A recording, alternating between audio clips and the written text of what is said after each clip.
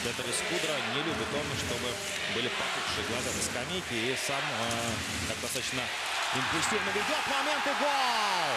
Санди Созалинш. Какие-то секунды и Рижане сокращают. Получает классную передачу из-за ворот.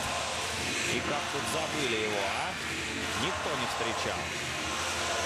Защитники торпеды так как-то очень вольготно дали сыграть Озалиншу.